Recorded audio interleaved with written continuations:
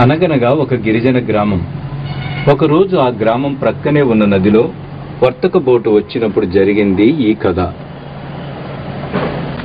Start బైబిల్లో ఎన్నో బంగారు వాక్యాలున్నాయి. అందులో యోహాను సువార్త మూడవ అధ్యాయము పదహారవ వచనం ఒక అద్భుతమైన వాక్యం.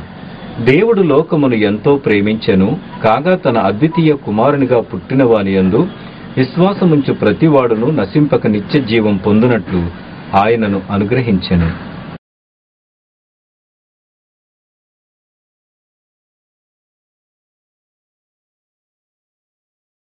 నెక్స్ట్ మనం పెంచాలనా? మరి కొంచెం ఎఫెక్టివ్గా చెప్పాలండి. మనం పెంచాలనా? నెక్స్ట్ చంటి పిల్లాన్ని పెంచడం చాలా కష్టం. నెక్స్ట్ తడిగుడ్డు పెడతాడా? మరి కొంచెం ఎఫెక్టివ్గా అండి. తడిగుడ్డు పెడతాడా? Okay next Bombay.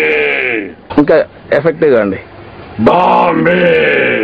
డాంబే. అలా.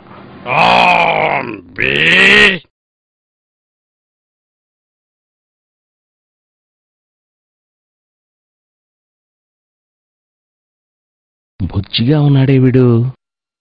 నీ పేరేంటి నాన్నా? నాకేం తెలుసు?